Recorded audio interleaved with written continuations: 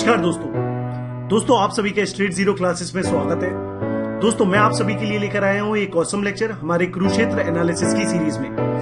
दोस्तों, कुरुक्षेत्र मंथली एक government magazine है, जो कि गवर्नमेंट ऑफ़ इंडिया के द्वारा पब्लिश की जाती है। स्पेशली अगर बात की जाए तो मिनिस्ट्री ऑफ़ रूरल डेवलपमेंट के बारे में, के द्वारा। तो दोस्तों, इस जो ये सीरीज़ है, इसमें हम डिस्कस कर रहे हैं इस मंथली के सारे आर्टिकल्स अगर आज के हम पर्टिकुलर लेक्चर की बात करें तो we are discussing September edition दोस्तों सितंबर एडिशन के ऊपर ऑलरेडी मैं एक पार्ट अपलोड कर चुका हूँ, जिसमें हम लोगों ने बात की थी तीन आर्टिकल्स के बारे में। ये सितंबर एडिशन के ऊपर दोस्तों हमारा सेकेंड पार्ट है और आज के पार्ट में हम रिमेनिंग आर्टिकल्स के बारे में बात करेंगे।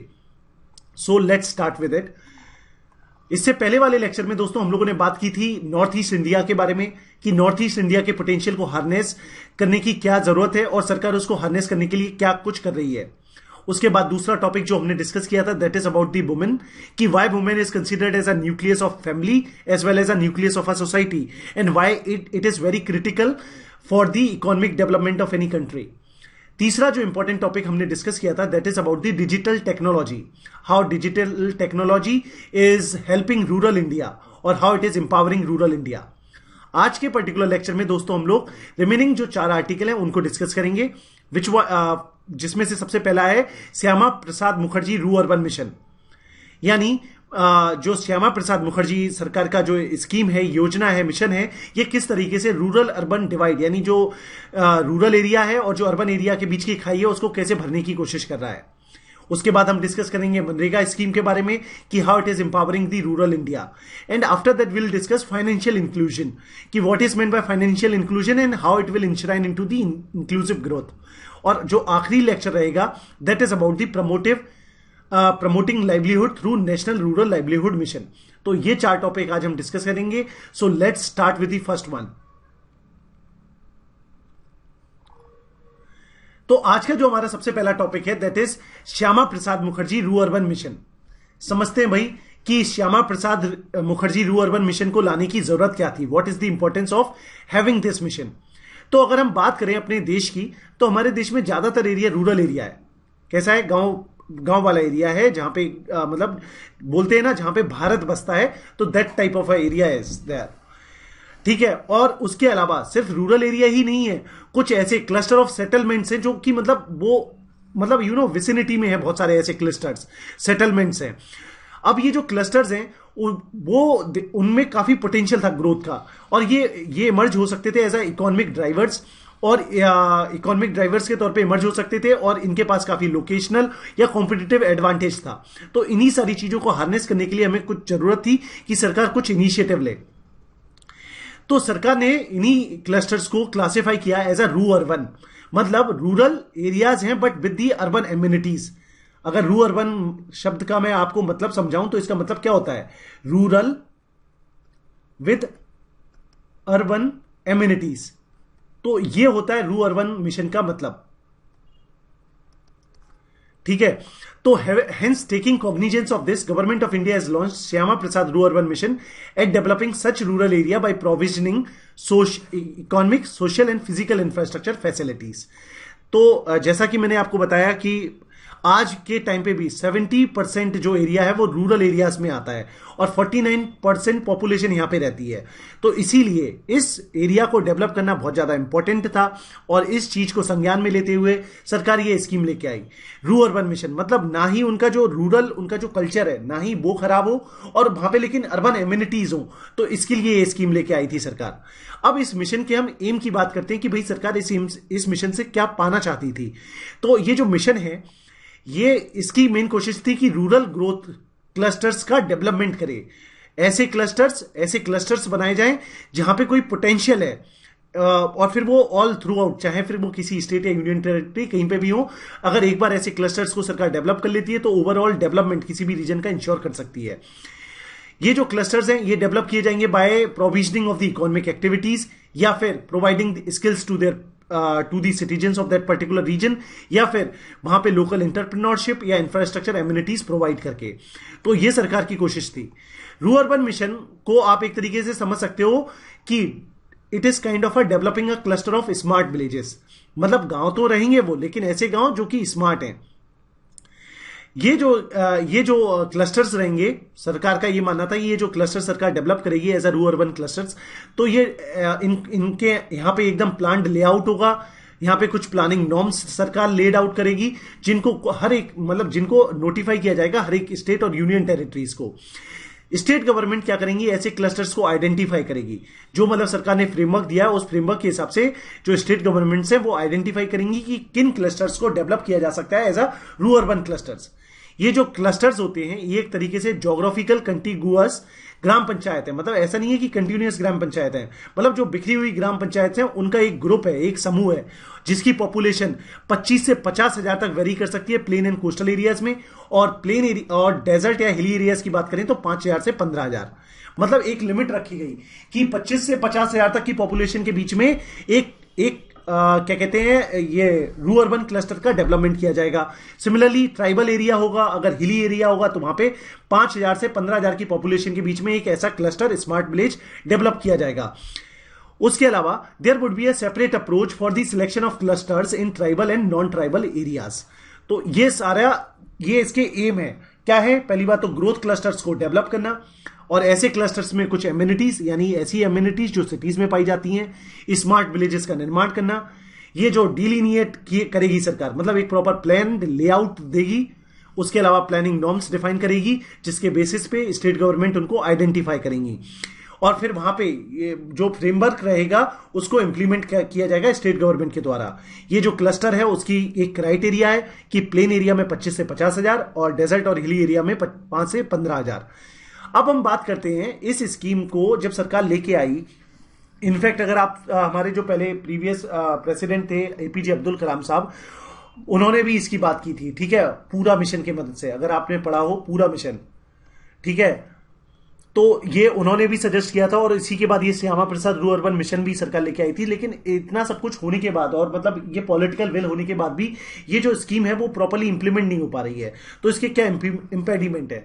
तो सबसे पहली बात है lack of basic infrastructure development मतलब अगर आपको क्लस्टर डेवलप करना है तो उससे पहले कुछ बेसिक इंफ्रास्ट्रक्चर तो होना चाहिए वहाँ पे, पर बेसिक इंफ्रास्ट्रक्चर की कमी के चलते ये ये जो पूरी स्कीम है, ये जो मिशन है वो प्रॉपरली इंप्लीमेंट नहीं हो पा रहा है। दूसरा माइग्रेशन कि जो जो पब्लिक है मतलब जो गाँव की में रहने वाले लोग बाग हैं, जो यूथ है, वो सब लोग क्या है, वो सिटीज़ में माइग्रेट करना चाहता है, वो रहना ही नहीं चाहता है अपनी जगह पे। तो ये माइग्रेट एक तो ये रीजन है मतलब एक है पुल फैक्टर और दूसरा होता है पुश फैक्टर कि मतलब due to the failure in agriculture क्योंकि एग्रीकल्चर में, जो एग्रीकल्चर इंडिया में ऐसा बोला जाता है it is now not re remunerative ऐसा क्यों है? Why it is not remunerative because जो फार्म साइज़ है, वो कम होती जा रही है। प्रोडक्टिविटी सॉइल की कम होती जा रही है। ठीक है तो इसकी वजह से डिस्गाइज अनएम्प्लॉयमेंट बढ़ता जा रहा है। प्राइसेस बहुत ज़्यादा वॉलेटाइल होते हैं तो जिसकी वजह से फार्मर्स होते हैं या उनके बच्चे होते हैं, वो माइग्रेट करते जा रहे हैं। जिसकी वजह से क्या हो रहा है कि अब सरकार को समझ में नहीं आ रहा कि क्या किया जाए। तीसरा, तीसरी जो दिक्कत है that is fragmented land holding जो मैं ऑलरेडी आपको बता चुका हूँ कि इतना बड़ा एरिया ही नहीं है। Continuous litigation and pendency of cases related to titles making time lagging for implementation क्योंकि अगर आप समझ रहे हो ना कि अगर क्लस्टर डेवलप करना है तो क्लस्टर के लिए भैया ज़मीन भी तो चाहिए लैंड चाहिए। और आपको पता ही है, वैसे ही हमारे यहाँ लैंड कितना स्कार्स है। उसके बाद भी ये जो लैंड होल्डिंग सरकार को मिलती है, वो काफ़ी फ्रेगमेंटेड होती है।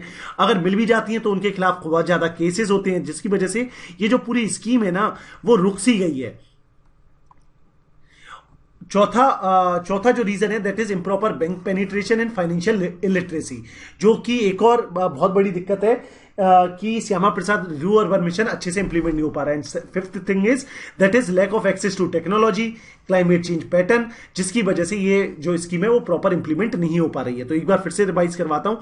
एक तो है बेसिक इंफ्रास्ट्रक्चर की कमी, दूसरा है माइग्रेशन तीसरा है fragmented land holdings and litigation तो लिटिगेशन एक आपका अगला पॉइंट हो गया। Fifth point is improper bank penetration and financial illiteracy तो ये पांचवा पॉइंट है and six point is lack of access to technology अब हम बात करते हैं। वैसे ये जो मिशन था, ये काफ़ी प्रॉमिसिंग मिशन था। और मतलब इसकी जो इम्पैक्ट होता, वो भी काफ़ी ज़्यादा, बहुत ही ज़्यादा अच्छा इम्पैक्ट होता।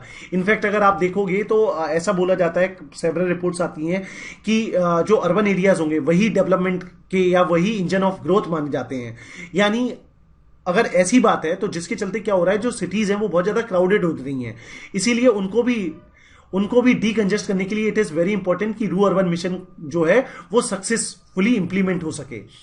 तो बे फॉरवर्ड में ये बोला जाता है, सबसे पहली बात तो क्या है पेरेंट्स को मोटिवेट करने की ज़रूरत है। पेरेंट्स को मोटिवेट करने की ज़रूरत है कि जो फैसिलिटीज़ हैं, जो या तो फैसिलिटीज़ नहीं है तो उनका इस्तेमाल करें और जहाँ पे फैसिलिटीज़ है उनको प्रॉपरली यूज़ करें। मतलब जहाँ पे नहीं है, वहाँ पे बनाई जाए और जहाँ पे है, उनका इस्तेमाल किया जाए। वॉलेंटियर ग्रुप्स बनाने का ज़रूरत है। सो so दैट अगर ये वॉलेंटियर ग्रुप्स होंगे तो वो बाकियों को अपने साथ लेके आएँगे और इस मिशन को इंप्लीमेंट करवाने में मदद करेंगे। जो रिसोर्सेज है, उनको ईयर मार्क करने की ज़रूरत है। फिर चाहे वो पैसा हो टेक्निक टेक्नोलॉजी हो टेक्निकल हेल्प हो तो उन सारी रिसोर्सेज को ईयर मार्क करने की ज़रूरत है और डिवोट करने की ज़रूरत है। जो रू अर्बन क्लस्टर्स हैं रू अर्बन रू अर्बन क्लस्टर्स हैं तो उनको इस तरीके से प्लान करने की ज़रूरत है कि जो रिच और पुअर बेनिफिशियरीज हैं, वो साथ में मिलके आए। मतलब ऐसा ना लगे कि सिर्फ़ कोई एक पर्टिकुलर सेक्शन ही सोसाइटी का उसको सपोर्ट करे। अगला इंपॉर्टेंट बात है कि जो इंफ्रा इंफ्रास्ट्रक्चर कंस्ट्रेंट है उसको ठीक किया जाए। मतलब रोड कनेक्टिविटी प्रोवाइड की जाए या फिर आ, क्या कहते हैं वहाँ पे इलेक्ट्रिसिटी प्रोवाइड की जाए सोशल इंफ्रास्ट्रक्चर प्रोवाइड किया जाए बैंकिंग प्रोवाइड की जाए तो यानी इंफ्रास्ट्रक्चर जो कंस्ट्रेंट है उनको रिजोल्व करने की ज़रूरत है। उसके अलावा प्राइवेट सेक्टर को इन्वॉल्व करने की ज़रूरत है। पोस्ट ऑफ़िस को इस्तेमाल किया जा सकता है फॉर या फिर as a efficient network for distributing the different things उसके अलावा स्मार्ट कार्ड्स का इस्तेमाल करने की ज़रूरत है। तो ये सारे वे फॉरवर्ड में बोले जाते हैं। अगर पेपर में आता है क्रिटिकली एनालाइज दी रू अर्बन मिशन तो आप उसमें आप उसमें इंपेडिमेंट्स बताएँगे और फिर उसमें आप बताएँगे वे फॉरवर्ड कि उसको ठीक कैसे किया जा सकता है। पेरेंट्स को मोटिवेट करके वॉलेंटियर ग्रुप्स को रोप करके रू अर्बन क्लस्टर्स के जो रिसोर्सेज हैं, उनको ईयर मार्क करके रू अर्बन क्लस्टर्स को इक्व एनिमिटी के साथ इंप्लीमेंट करने की ज़रूरत है इंफ्रास्ट्रक्चर डेवलप करने की ज़रूरत है प्राइवेट सेक्टर का इन्वॉल्वमेंट इंश्योर करने की ज़रूरत है पोस्ट ऑफ़िस का यूज़ किया जा सकता है और स्मार्ट कार्ड का इस्तेमाल करके। तो अगर आप देखें, गाँव बढ़ेगा तभी देश बढ़ेगा, ये इसकी टैगलाइन थी। और अगर क्लस्टर लेवल पे देखें तो देखिए क्या होगा क्लस्टर लेवल पे ये सारी चीज़ें इस्तेमाल होंगी हाउस लेवल पे ये सारी मतलब ये सारी चीज़ें प्रोवाइड की जाएँगी। तो ये एक एग्ज़ाम्पल है कि किस तरह का क्लस्टर बनेगा। Development of 300 village clusters as a rural growth centers empowered by urban amenities and infrastructure by 2019. This is the target of Shyama Prasad Mukherjee rurban mission ये 300 ऐसे क्लस्टर डेवलप करना चाहता है, जहाँ पे विलेज लेवल पे amenities यानी smart village develop किए जाएँगे और क्लस्टर लेवल पे ये सारी फैसिलिटीज़ प्रोवाइड की जाएँगी। तो आप देख सकते हैं। So this is our rurban mission अब हम बात करते हैं अपने नेक्स्ट इंपॉर्टेंट आर्टिकल के बारे में which is on the MNREGA. यानी Mahatma Gandhi national employment guarantee scheme, ठीक है? तो इंपावरिंग रूरल इंडिया सबसे पहले बात करते हैं कि भैया ये मनरेगा स्कीम है क्या? अब आप सभी जानते होंगे 2000 2005 में Mahatma Gandhi national rural employment guarantee act आया था। और जिस, जिसको हम लोग इस नाम से भी जानते हैं, Mahatma Gandhi national rural employment guarantee scheme ये लेजिस्लेशन है, ये कब आया था? अगस्त 25 2005 में। कब आया था? अगस्त 25 2005 में आई थी ये स्कीम। ठीक है?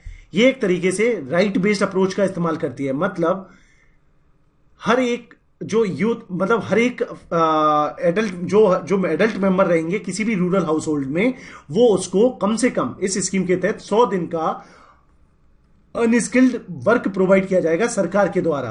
तो द मनरेगा क्या करता है? एक तरीके से लीगल गारंटी प्रोवाइड करता है। सौ दिनों की हर एक साल में एडल्ट मेंबर्स को किसी भी रूरल हाउस होल्ड के फॉर पब्लिक वर्क और ये जो पब्लिक वर्क होगा वो अनस्किल्ड मैनुअल वर्क होगा एट स्टेचुटरी मिनिमम वेजेस कि उससे कम रुपए नहीं मिलेंगे। अगर ऐसा नहीं होता है तो उनको कॉम्पनसेशन दिया जाएगा। उन्हें पंद्रह दिन के भीतर उन्हें या तो जॉब दिया जाए या फिर उनको कॉम्पनसेशन दिया जाएगा। अगर हम बात करें, इस स्कीम को मॉनिटर कौन कर रहा है तो मिनिस्ट्री ऑफ़ रूरल डेवलपमेंट इसको मॉनिटर करती है in association with state government इस एक्ट का मेन मकसद क्या था कि जो गाँव में रहने वाली पब्लिक है, उसकी परचेजिंग पावर को इंप्रूव कर सकें। जो रूरल पीपल हैं, उनकी परचेजिंग पावर को इंप्रूव कर सकें बाय प्रोवाइडिंग देम सेमी और unskilled work specially people living in below poverty line ये जो स्कीम है, उसकी कोशिश थी कि जो रिच पुअर का गैप है, उसको ब्रिज किया जा सके। रफली one third of the stipulated work force must be women तो आप देख रहे हो किस तरीके से बन रहेगा जो है, वो वुमेन एम्पावरमेंट में भी मदद कर रहा है। क्योंकि इसमें ये ऐसा बोला गया है कि एक तिहाई काम जो है, वो वुमेन्स को अलॉट होना चाहिए। तो ये है भाई हमारी मनरेगा स्कीम। अब बात करते हैं मनरेगा स्कीम में और क्या नए इनिशिएटिव्स लिए गए हैं, इसको और ज़्यादा इफ़ेक्टिव बनाने के लिए। तो जैसे इसमें एक जियो मनरेगा आया जियो मनरेगा क्या है? एक तरीके से मनरेगा के तहत बनाया गया कोई भी स्ट्रक्चर जो होगा, उसको जियो टैग किया जाएगा। जियो टैगिंग से क्या होगा? उसकी प्रॉपर प्लानिंग की जा सकती है मॉनिटरिंग की जा सकती है और ट्रांसपेरेंसी इंश्योर किया जा सकता है। उसके अलावा ये जो जियो मनरेगा वाला इनिशिएटिव है, ये इंप्लीमेंट किया जा रहा है 2016-17 से और अब तक कम से कम पैंसठ लाख एसेट्स को जियो टैग किया जा चुका है। उसके अलावा दूसरी चीज़ फंड फ्लो मैकेनिज्म को स्ट्रीमलाइन करने के लिए वेजेस के पेमेंट में जो डिले होता है उसको ठीक करने के लिए मिनिस्ट्री ऑफ़ रूरल डेवलपमेंट क्या कर रही है? National electronic fund management system को इंप्लीमेंट किया है 21 स्टेट और एक यूनियन टेरिटरी में। तो प्लीज़ याद रखना क्या चीज़ इंप्लीमेंट की है? National electronic fund management system. National electronic fund management system को इंप्लीमेंट कर रही है सो दैट जो फंड फ्लो है और जो बेजेस में डिले होता है, वो ठीक किया जा सके। उसके अलावा 96 परसेंट जो वेजेस हैं, अब वो इलेक्ट्रॉनिकली पे की जा रही हैं स्पेशली पोस्ट ऑफ़िस के जो अकाउंट्स होते हैं, उनकी मदद से। और तो ये भी एक बहुत अच्छा काम हो रहा है। और जो चौथा इंपॉर्टेंट थिंग जो इंटरवेंशन है, वो क्या है कि मनरेगा को सिंप्लीफाई करने के लिए एनुअल मास्टर सर्कुलर सर्कुलर यानी एक तरीके से ये समझ लो, एक समाचार पत्र सर्कुलेट किया जाता है, जिसमें पूरे के पूरे काम साल भर के आउटलाइन रहते हैं सो दैट मनरेगा का जो काम है वो एफिशिएंटली चल सके। अगला जो इंटरवेंशन है दैट इज़ कि सरकार ने मनरेगा वर्कर्स का स्किल डेवलपमेंट करने की कोशिश करने की कोशिश कर रही है। अगर उनकी स्किल डेवलपमेंट होगी तो वो और ज़्यादा अच्छे तरीके से काम कर सकेंगे और जो मनरेगा के तहत काम होंगे, उनकी क्वालिटी भी इंप्रूव हो जाएगी। तो जैसे MNREGA workers through initiatives like जैसे कौन कौन से इनिशिएटिव की मदद से सरकार मनरेगा वर्कर की स्किल इंप्रूव करने की कोशिश कर रही है? Barefoot technician and project life bare barefoot technician and project life life का फुल फॉर्म क्या है? लाइवलीहुड इन फुल एम्प्लॉयमेंट उसके अलावा मिनिस्ट्री ने स्टेट एक्सचेंज प्रोग्राम्स भी शुरू किए हैं। तो इसमें क्या होता है कि जो स्टेट्स, किसी भी स्टेट में कोई गुड प्रैक्टिस है तो उसको रिप्लीकेट करने की कोशिश कर रही है।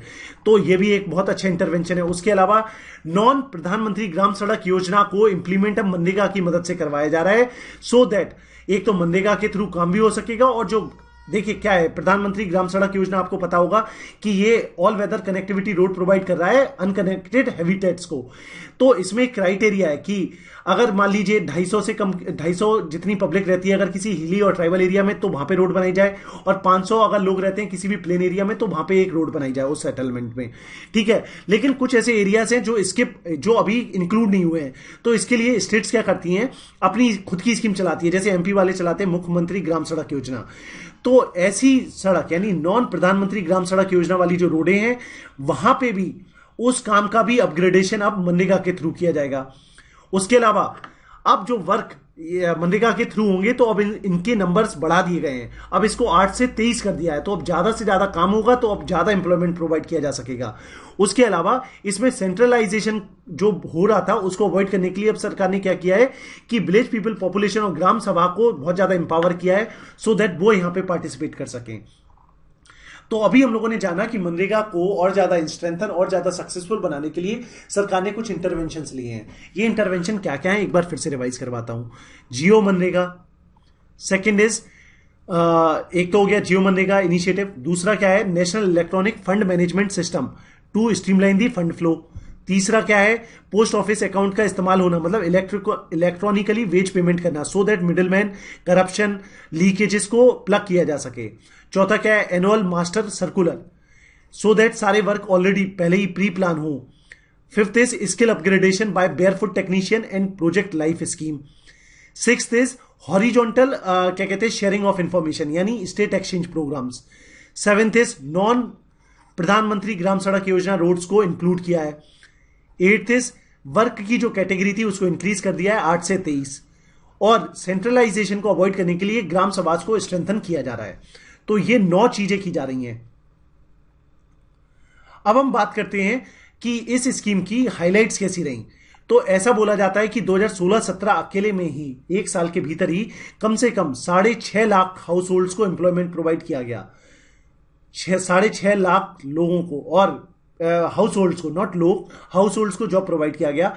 उस, उसमें भी अगर हम बात करें तो जो नंबर ऑफ़ परसेंट डेज़ थे पर हाउस होल्ड वो भी इंक्रीज हुए हैं। सेकेंड इंपॉर्टेंट थिंग कि जो मने, मनरेगा है जैसा कि मैंने आपको बताया 2005 में एक्ट आया था और ये फोर्स में आया था फरवरी दो दो हज़ार छह। Across two hundred of the India poorest district in twenty seven state assuring hundred days of unskilled work in an year to one adult member of every household तो ये तो खैर इसका टारगेट है मतलब ये इसका एक फीचर है।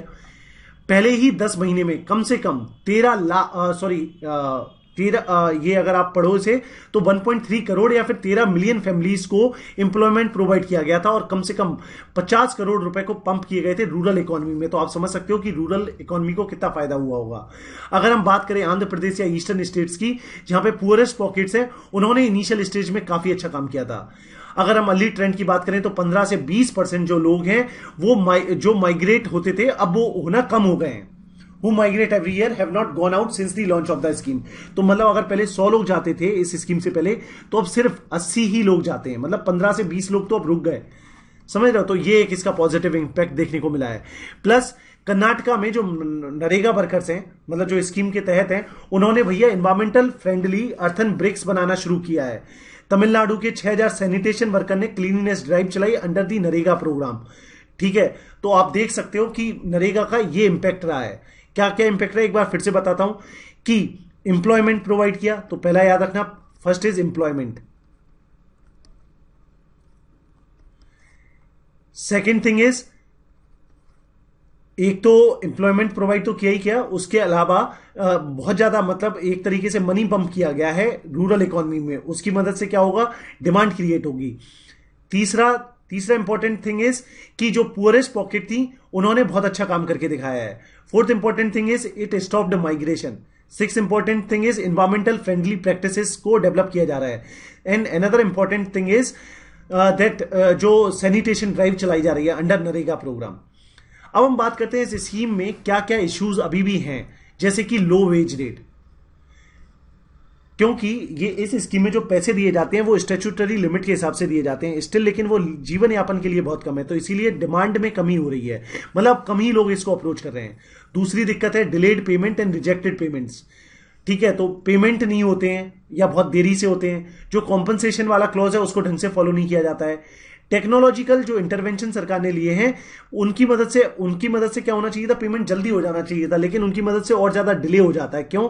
Because of the technological divide fifth reason is inadequate grievance redressal system कि मतलब अगर किसी की शिकायत है तो उसको कैसे ठीक किया जाए, उसके लिए कोई प्रावधान नहीं है। तो ये इसमें कुछ मेजर इश्यूज़ हैं। क्या है? Low wage rate fall in demand second is delayed payment less compensation Then technological interventions are delaying the payment. And fifth is inadequate grievance redressal system. Is it clear to every तो इसी के साथ हमारा ये जो नरेगा वाला initiative था, वो समाप्त होता है। अब हम बात करते हैं financial inclusion for inclusive growth सबसे पहला बात है what is meant by financial inclusion financial inclusion का मतलब क्या होता है कि सोसाइटी के, हर वर्ग का, कि जो पब्लिक है, उसको उसको फॉर्मल बैंकिंग सिस्टम में लेके आना। फॉर्मल बैंकिंग सिस्टम में लेके आओ या ना आओ, लेकिन उसे सारी फॉर्मल बैंकिंग सर्विसेज़ प्रोवाइड करना। जैसे डिपॉजिट करना, ट्रांसफ़र करना, अवेल करना, लोन अवेल करना, ठीक है, इंश्योरेंस पॉलिसीज़ लेना। तो अगर सारे सिटीजन, सारी क्लास के लोग अगर फॉर्मल बैंकिंग सर्विसेज़ को अवेल कर पाते हैं तो इसको बोलते हैं फाइनेंशियल इंक्लूजन।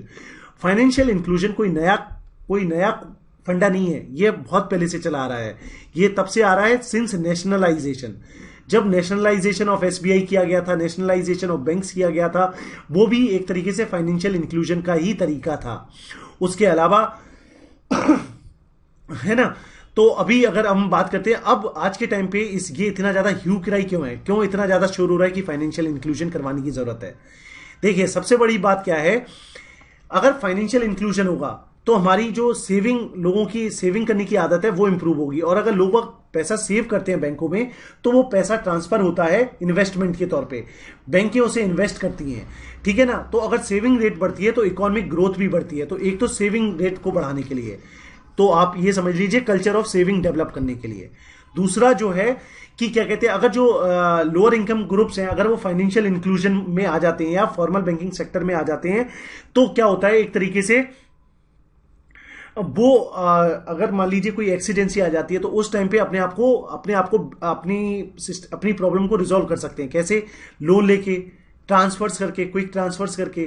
तो ये एक बहुत बड़ा फ़ायदा होगा। तो यानी financial inclusion protect their financial wealth as well as other resources financial inclusion से क्या होता है? जो बनरेबल सेक्शन है, उसका एक्सप्लॉयटेशन कम हो जाता है। क्यों? क्योंकि एक तो मिडिल मैन नहीं रह जाते हैं, जो साहूकार वगैरह होते हैं, जो बहुत ज़्यादा पैसे लेते हैं, वो सारी चीज़ें प्रॉब्लम ठीक हो जाती हैं।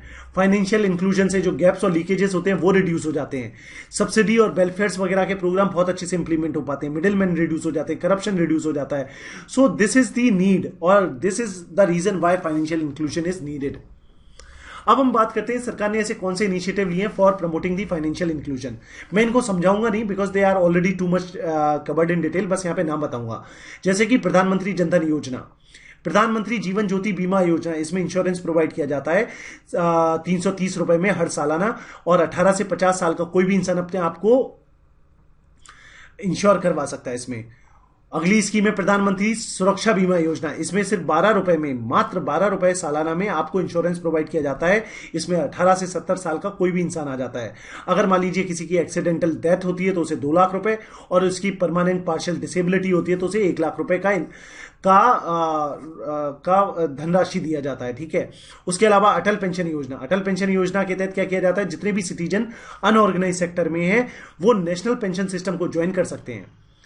ठीक है? नेशनल पेंशन सिस्टम को ज्वाइन कर सकते हैं सो so दैट वो बूढ़े होंगे तो उन्हें पेंशन मिलेगी। अटल पेंशन योजना के तहत फिक्स्ड पेंशन मिलती है, हज़ार रुपए, दो हज़ार रुपए, तीन हज़ार, चार हज़ार, पाँच हज़ार depending upon the contribution made by the individual उसके अलावा सरकार एक और स्कीम लेके आई थी, प्रधानमंत्री मुद्रा योजना। ये माइक्रो क्रेडिट प्रोवाइड करने के लिए स्पेशली लेके आई थी, जो एमएसएमई सेक्टर की इंडस्ट्रीज़ हैं। इसमें पाँच, इसमें तीन लोन दिए जाते हैं। एक है शिशु, दूसरा है किशोर, और तीसरा है तरुण। शिशु में पचास हज़ार तक का लोन दिया जाता है। पचास हज़ार से पाँच तक के लोन को किशोर कहते हैं और तरुण वाला जो लोन है वो पाँच लाख से दस लाख। तो ये भी फाइनेंशियल इंक्लूजन को प्रमोट करने के लिए ही थी। फिर stand up India scheme stand up India scheme में क्या किया जाता है? बैंक लोन प्रोवाइड किया जाता है दस लाख से लेकर एक करोड़ तक का। हर एक एक कम से कम शेड्यूल कास्ट या शेड्यूल ट्राइब को और एक कम से कम एक औरत इंटरप्रेन्योर को। ठीक है? तो ये भी एक स्कीम थी। उसके अलावा उसके अलावा वरिष्ठ पेंशन बीमा योजना। वरिष्ठ पेंशन बीमा योजना में क्या कहते हैं, ये है सीनियर सिटीजन के लिए और इसमें नाइन परसेंट गारंटेड रिटर्न का वादा करती है सरकार। तो ये भी एक फाइनेंशियल इंक्लूजन का ही तरीका था। फिर सरकार एक और स्कीम लेके आई थी, जो 2014-15 में उसका नाम था venture capital fund for schedule caste यानी ये शेड्यूल कास्ट में क्या कहते हैं इंटरप्रेन्योरशिप को डेवलप करने के लिए सरकार ने इस फंड का निर्माण किया था, जिसमें कोई भी ऐसी कैटेगरी ऐसी क्लास से बिलोंग करने वाला बंदा सरकार से पैसे ले सकता है हेल्प ले सकता है। अगला इंपॉर्टेंट इनिशिएटिव था क्रेडिट एनहेंसमेंट गारंटी स्कीम तो क्रेडिट एनहेंसमेंट गारंटी स्कीम को भी अनाउंस किया गया था 2014-15 में, और इसमें 200 करोड़ का एक फंड एलोकेट किया गया था, जो कि यंग स्टार्टअप्स अर्ली स्टार्टअप्स को सपोर्ट करने के लिए था स्पेशली एससी कैटेगरी के लोग या फिर न्यू मिडिल क्लास कैटेगरी के लोग। उसके अलावा सरकार बहुत सारे फाइनेंशियल लिटरेसी प्रोग्राम भी चला रही है, जिसके तहत लोगों को फाइनेंशियली लिटरेट बनाया जा सके और कार्ड एक्सेप्टेंस इंफ्रास्ट्रक्चर को भी बूस्ट कर रही है तो ये सारे इनिशिएटिव हैं which are promoting the financial inclusion एक बार फिर से रिवाइज करवाता हूँ। प्रधानमंत्री जनधन योजना, प्रधानमंत्री जीवन ज्योति बीमा योजना, प्रधानमंत्री सुरक्षा बीमा योजना, अटल pension Yojana, Pradhan Mantri Mudra Yojana stand up India scheme Varishtha pension Bima Yojana, उसके अलावा venture capital fund for schedule caste credit enhancement guarantee scheme and financial literacy programmes अगर हम बात करें फाइनेंशियल इंक्लूजन के एवोल्यूशन की तो आपको जैसे मैंने बताया, ये बैंक बैंक नेशनलाइजेशन से शुरू हो गया था। जब सरकार ने आरआरबीस बनाए रूरल रीजनल बैंक्स या फिर सरकार जब लीड बैंक स्कीम लेके आई। चलिए आप लोग कमेंट सेक्शन में ये बताना what is lead bank scheme उसके अलावा एस्टेब्लिशमेंट ऑफ़ आरआरबीस नाबार्ड का क्रिएशन किया सर ने, और सरकार ने, और जो फिर प्राइवेट प्रायोरिटी सेक्टर लैंडिंग शुरुआत की थी। उसके अलावा प्रधानमंत्री जनधन योजना। अगर फाइनेंशियल इंक्लूजन के क्या बेनिफिट्स हो सकते हैं तो आप यहाँ पे देख सकते हो इससे क्या क्या बेनिफिट होते हैं। अब बात करते हैं आज का हमारा आखिरी topic which is promoting livelihood through national rural livelihood mission तो सबसे पहले तो हम यही जानेंगे कि नेशनल रूरल लाइवलीहुड मिशन जिसको आजीविका के नाम से भी जानते हैं, है क्या? नेशनल रूरल लाइवलीहुड मिशन को लॉन्च किया गया था मिनिस्ट्री ऑफ़ रूरल डेवलपमेंट के द्वारा, जून 2011 में। जून 2011 में। और ये एक तरीके से रीस्ट्रक्चर्ड वर्जन था किसका? स्वर्ण जयंती ग्राम स्वरोजगार योजना का। इससे पहले मतलब एनआर आलएम यानी आजीविका मिशन से पहले सरकार चलाती थी स्वर्ण जयंती ग्राम स्वरोजगार योजना। इसको ही सरकार ने रीस्ट्रक्चर किया, नया पैकेज बनाया और इसको लेके आ गई सरकार आजीविका मिशन के तौर पे। क्या नाम से? आजीविका मिशन के नाम से।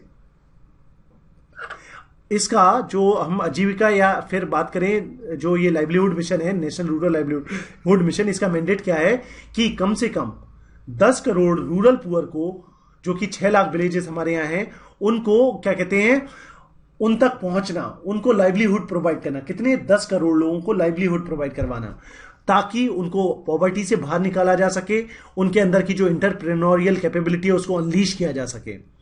अब हम अगर देखें कि जब पहले, इससे पहले स्वर्ण जयंती स्वरोजगार योजना चल रहा था तो सरकार फिर आजीविका मिशन क्यों लेके आई? तो देखिए एनआरएलएम जो है, वो डिमांड ड्रिवन स्ट्रेटेजी पे काम करता है। मतलब अगर पब्लिक डिमांड करेगी तो वहाँ पे ये कुछ ना कुछ एलोकेट करेगा। जबकि स्वर्ण स्वर्ण जयंती ग्राम स्वरोजगार योजना एलोकेशन बेस्ड स्ट्रेटेजी पे काम करता था, कि भाई सरकार ने एलोकेट कर दिया, कि भाई लो, इतने रुपए खर्च करे जाने हैं। बस उसके बाद कुछ नहीं। उसके अलावा यहाँ पे स्टेट्स को ऑटोनॉमी दी गई है कि वो अपने हिसाब से प्रोग्राम्स को या स्कीम्स को इंप्लीमेंट कर सकते हैं। इसमें स्टेट्स को इंकरेज भी किया जाता है to prepare state perspective for the implementation plan annual action plan तो ताकि जो स्टेट्स हैं वो इसमें बढ़ चढ़ के पार्टिसिपेट करें। उसके अलावा इसमें participatory identification of poor instead of BPL to identify its beneficiary तो मतलब यहाँ पे जो पुअर्स हैं उन, वो खुद आगे बढ़ के आते हैं, ना कि सिर्फ़ बीपीएल को एक क्राइटेरिया बना दिया है। तो ये ये चार रीजन है जो कि इसको डिफरेंट बनाते हैं। क्या क्या है? पहला है इसको डिमांड रवन बना दिया। दूसरा है स्टेट्स को ग्रेटर अटोनमी दे दी। तीसरा स्टेट्स को इंकरेज किया जाता है कि वो अपने प्रॉपर प्लान बनाए इंप्लीमेंटेशन प्लान और एक्शन प्लान और चौथा इंपॉर्टेंट बात है कि पुअर्स को आइडेंटिफाई किया जाता है पार्टिसिपेशन बेसिस पे इंस्टेड ऑफ़ बीपीएल अगर हम इसके फीचर्स की बात करें तो जैसे क्या क्या इसके फीचर्स हैं? इसमें universal social mobilisation universal social mobilisation का मतलब क्या है? जो नेशनल रूरल लाइवलीहुड मिशन है, वो इंश्योर करता है कम से कम एक मेंबर हर एक आइडेंटिफाई हाउस होल्ड में स्पेशली वुमेन को सेल्फ हेल्प ग्रुप के नेटवर्क में लेके आया जाए। तो यूनिवर्सल सोशल मोबिलाइजेशन मतलब हर किसी को लाने की कोशिश कर रहे हैं। हर एक हाउस होल्ड में से हर एक व्यक्ति और कम कोशिश करेंगे कि वुमेन को इस स्कीम के अंतर्गत लाया जाए। उसके अलावा promotion of institution of poor मतलब जैसे इंस्टीट्यूशन ऑफ़ पुअर क्या मानी जाती हैं? सेल्फ हेल्प ग्रुप्स हो गए, या फिर कॉटेज इंडस्ट्रीज़ हो गई। तो उन सारी चीज़ों का प्रमोशन करना, जो कि एक पुअर्स के काम की होती हैं। तीसरा training capacity building and skill develop building चौथा क्या हो गया? Revolving fund and capital subsidy revolving fund क्या हो गया? एक तरीके से अलग अलग रोजगारों के लिए फंड प्रोवाइड करवाना और कैपिटल सब्सिडी क्या हो गया कि अगर कोई काम वो कोई शुरू कर रहा है तो उसमें जो कैपिटल वाला खर्चा आता है, वो उसके लिए सब्सिडी सरकार प्रोवाइड करती है। यूनिवर्सल फाइनेंशियल इंक्लूजन ठीक है, ये इसका अगला फीचर है। सिक्स इज़ इंटरेस्ट सब्सिडी की जो ब्याज देते हो उस पर सरकार सब्सिडी देगी इसमें। उसके अलावा work toward stabilising and enhancing the existing livelihood तो लाइवलीहुड क्रिएशन करना, यानी इंप्लॉयमेंट क्रिएशन करना, उसके अलावा infrastructure creation and marketing support skill skill and placement project rural self employment training institutes का इंस्टेब्लिशमेंट करना इनोवेशन को प्रमोट करना, और जो सरकार की स्कीम्स हैं उनको कन्वर्जेंस करवाना पार्टनरशिप एनजीओ और सिविल सोसाइटी ऑर्गेनाइजेशन के संग पार्टनरशिप डेवलप करना for the strategic develop for the strategic implementation उसके अलावा पंचायती राज इंस्टीट्यूशन के साथ लिंकेजेस बिठाना टेक्निकल सपोर्ट प्रोवाइड करना monitoring and learning so these are the features of national rural livelihood mission ठीक है?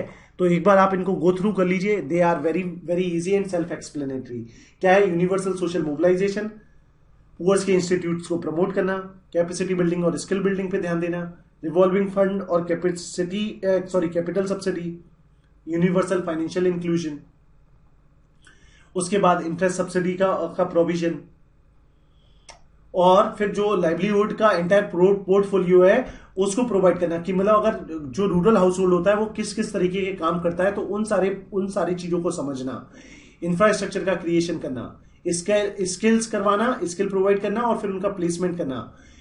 Rural self employment training institutes बनाना, जहाँ पे अनएम्प्लॉयड रूरल यूथ होंगे तो उनको, क्या कहते हैं स्किल्स प्रोवाइड की जाएँगी ट्रेन किया जाएगा इनोवेशन को प्रमोट करना। मतलब इसमें डायरेक्टली ऐसा बोला गया है इस स्कीम में, आजीविका मिशन में कि पाँच परसेंट जो फंड होगा, वो सिर्फ़ और सिर्फ़ इनोवेशन के लिए खर्च किया जाएगा। बाकी प्रोग्राम्स को कन्वर्ट करवाना एनजीओ वगैरह को रोप करना, पंचायती राज इंस्टीट्यूट का इस्तेमाल करना, उसके अलावा technical support monitoring and learning and funding pattern तो यहाँ पे आप देख सकते हो, ये इन्फोग्राफिक की मदद से आप समझ सकते हो कि किस तरीके से एनआरएलएम मदद करता है। पहले आइडेंटिफाई करेगा, फिर कैपेसिटी बिल्डिंग करेगा, फिर उनको फैसिलिटेट करेगा। मतलब एक बार कैपेसिटी दे दी तो फिर उन्हें बताएगा कि किस तरीके से वो अपनी स्किल का इस्तेमाल कर सकते हैं और फिर उन्हें सोशल उनको सेफ्टी नेट प्रोवाइड करवाना। अगर हम बात करें यहाँ पे स्वर्ण जयंती ग्राम स्वरोजगार योजना का बार बार ज़िक्र हुआ था तो इसको इंप्लीमेंट किया जा रहा था एक अप्रैल उन्नीस सौ निन्यानवे से और इसके ये सारे कंपोनेंट्स हैं। ठीक है, आप देख सकते हैं। तो दोस्तों, इसी के साथ ये लेक्चर समाप्त होता है। उम्मीद करता हूँ that every one of you must have enjoyed as well as learn a lot अगर प्लीज़ आपसे मेरी दो तीन रिक्वेस्ट हैं। जो मैंने क्वेश्चन पूछे प्लीज़ आप उनके जवाब देना ना भूलें। सेकेंड थिंग इज़ आप इस लेक्चर को रिव्यू करके बताएँ कि आपको ये लेक्चर कैसा लगा और आपके लर्निंग एक्सपीरियंस को किस तरीके से इंप्रूव किया जा सकता है। एज फार एज बात करी जाए इस डॉक्यूमेंट की तो मैं इसको इंस्टामोजो पे और स्टेट ज़ीरो क्लासेस में शेयर कर दूँगा। वहाँ से आप इसको डाउनलोड करके अपना रिविजन कर सकते हैं। Now let's move on to the next important section तो दोस्तों, इसी के साथ ही आज का लेक्चर समाप्त होता है। उम्मीद करता हूँ that every one of you must have like as well as learn a lot from this lecture दोस्तों, अगर आपको कोई भी क्वेरी आती है either in relation to this lecture या फिर आपकी प्रिपरेशन में कोई भी ऐसा इश्यू है जिसके बारे में आपको कोई प्रॉब्लम हो रही है, कोई क्वेरी है तो आप मुझे इस ईमेल आईडी पे मेल करके अपनी क्वेरी को रिजोल्व कर सकते हैं। उसके अलावा आप मुझे कॉल भी कर सकते हैं। मेरा ये मोबाइल नंबर मैं आपको बता देता हूँ। तो आप इस पर कॉल करिए और अगर आपको कोई क्वेरी है तो उम्मीद करूँगा मैं उसको रिजोल्व करने की और आपके कॉल को जल्द से जल्द रिस्पॉन्ड करने की। दोस्तों एक और इंपॉर्टेंट बात प्लीज़ आप इस लेक्चर को रिव्यू करना ना भूलें। आप इसको रिव्यू कर सकते हैं लाइक या डिसलाइक बटन को क्लिक करके। उसके अलावा दोस्तों, जो भी मेरे क्वेश्चंस पूछे हैं लेक्चर के दौरान, आप उनको कमेंट करके बताएँ। प्लस आप ये भी बताएँ कि आप किस टॉपिक पे या किस इश्यू के ऊपर कोई लेक्चर चाहते हैं। मैं कोशिश करूँगा आपकी रिक्वेस्ट को जल्द से जल्द फुलफिल कर सकूँ। और अगर आप चाहते हैं कि आप टाइमली नोटिफाई हो सकें मेरे लेक्चर्स के बारे में तो प्लीज़ इसको सब्सक्राइब और बेल आइकन को क्लिक कर दीजिए। उसके अलावा if you find this lecture worth watching तो प्लीज़ आप इसे शेयर करें। करें अपने फ्रेंड्स के साथ, अपने दोस्तों के साथ सो so दैट वो भी इसका लाभ उठा सके। दोस्तों at last I just want to say thank you very much for watching this video so patiently all the very best for your preparation मिलेंगे नेक्स्ट लेक्चर में. टिल देन दस विदानिया।